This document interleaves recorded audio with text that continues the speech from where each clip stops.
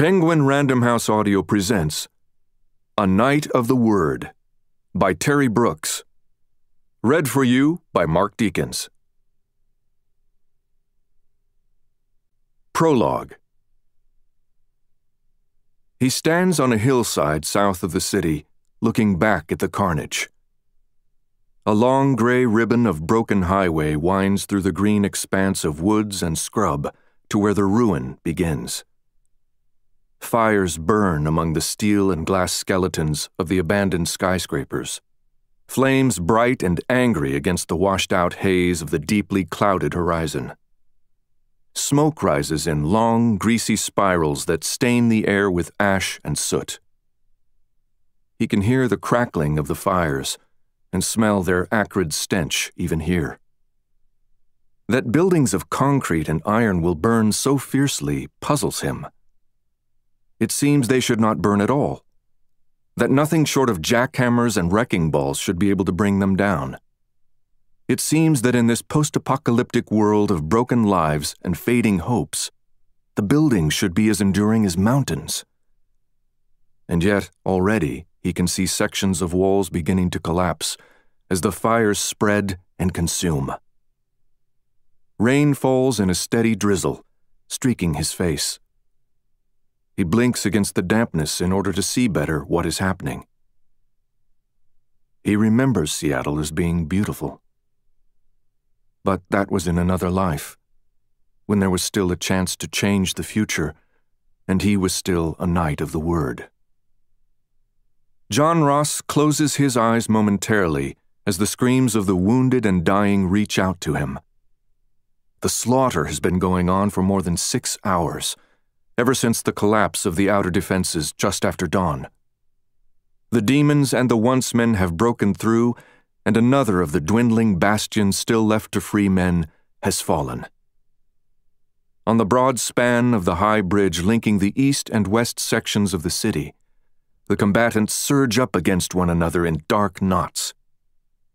Small figures tumble from the heights, pinwheeling madly against the glare of the flames as their lives are snuffed out.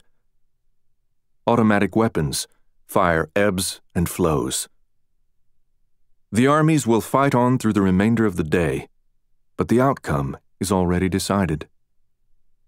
By tomorrow, the victors will be building slave pens by the day after, the conquered will be discovering how life can sometimes be worse than death.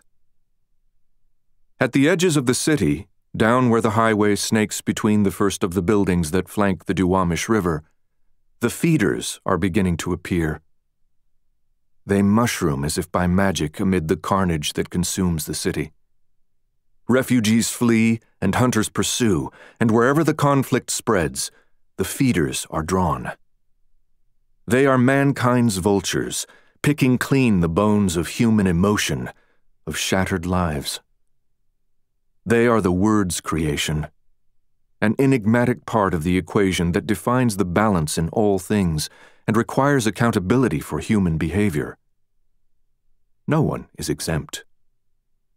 No one is spared.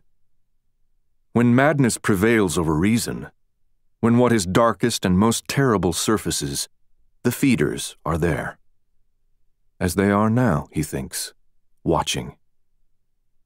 Unseen and unknown, inexplicable in their single mindedness, they are always there.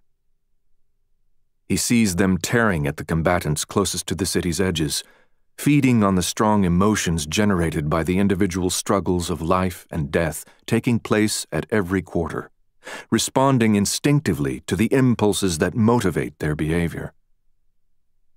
They are a force of nature, and as such, a part of nature's law.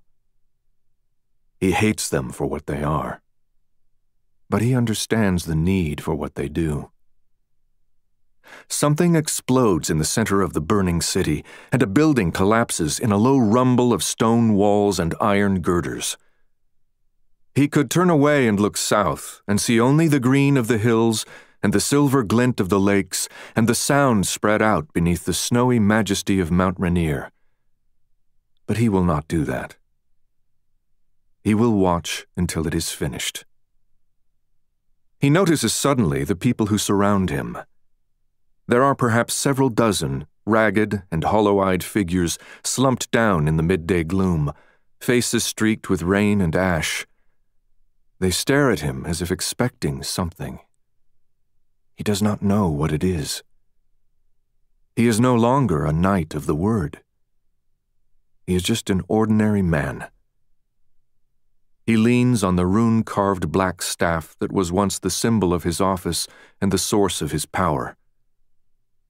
What do they expect of him? An old man approaches, shambling out of the gloom, stick thin and haggard. An arm as brittle as dry wood lifts and points accusingly. I know you, he whispers hoarsely. Ross shakes his head in denial, confused. I know you, the old man repeats. Bald and white bearded, his face is lined with age and by weather, and his eyes are a strange milky color, their focus blurred. I was there when you killed him, all those years ago. Killed who? Ross cannot make himself speak the words, only mouth them, aware of the eyes of the others who are gathered fixing on him as the old man's words are heard. The old man cocks his head and lets his jaw drop, laughing softly, the sound high and eerie, and with this simple gesture, he reveals himself. He is unbalanced, neither altogether mad nor completely sane, but something in between. He lives in a river that flows between two worlds, shifting from one to the other, a leaf caught by the current's inexorable tug his destiny beyond his control. The wizard, the old man spits, his voice rising brokenly in the hissing sound of the rain. The Wizard of Oz. You are the one who killed him. I saw you.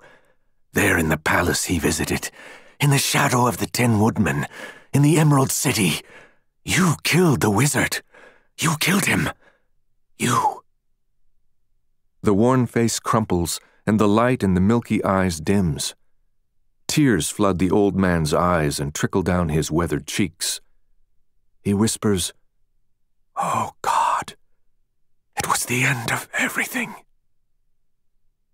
And Ross remembers then a jagged edged, poisonous memory he had thought forever buried.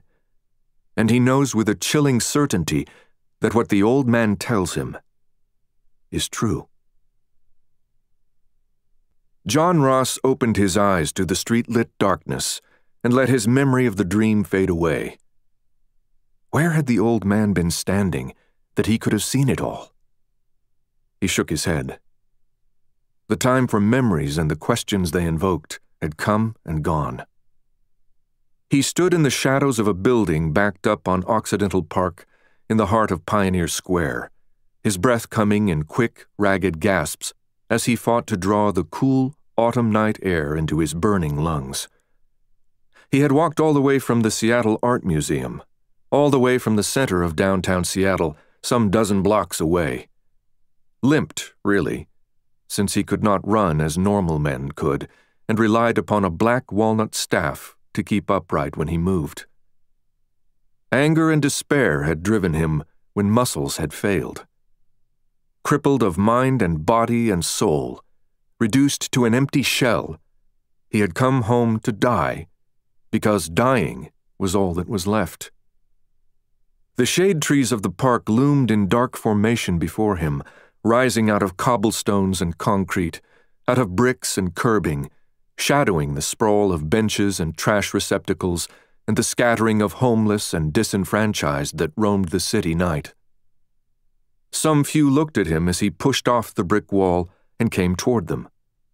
One or two even hesitated before moving away. His face was terrible to look upon, all bloodied and scraped, and the clothes that draped his lean body were in tatters. Blood leaked from deep rents in the skin of his shoulder and chest, and several of his ribs felt cracked or broken. He had the appearance of a man who had risen straight out of hell but in truth, He was just on his way down. Feeders gathered at the edges of his vision, hunchbacked and beacon eyed, ready to show him the way. We hope you enjoyed this preview. To continue listening to this audiobook on Google Play Books, use the link in the video description.